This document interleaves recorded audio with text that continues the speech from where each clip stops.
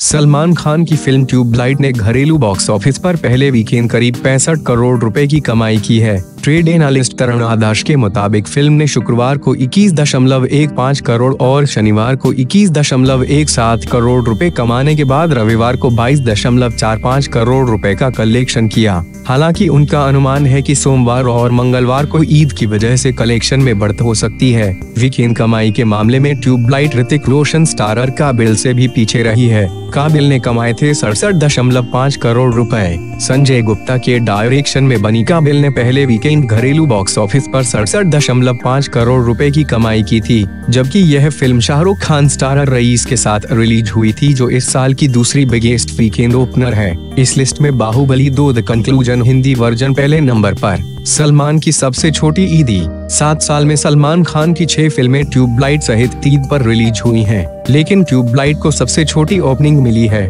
ऐसा रहा फ़िल्मों का कलेक्शन। नंबर फ़िल्म और रिलीज़ का साल वीकेंड कलेक्शन करोड़ रुपए में वीकेंड के दिन। एक सुल्तान 2016 एक सौ पाँच दशमलव पाँच पाँच दिन का वीकेंड बुधवार से रविवार। दो सुल्तान 2015 एक सौ दो दशमलव छह तीन दिन का वीकेंड शुक्रवार से रविवार। तीन एक था टाइगर 2012 एक सौ पाँच दिन का वीकेंड बुधवार से रविवार। चार बॉडीगार्ड गार्ड दो हज़ार ग्यारह अट्ठासी दशमलव सात पाँच दिन का वीकेंड बुधवार से रविवार, पाँच किक 2014 चौरासी तीन दिन का वीकेंड शुक्रवार से रविवार।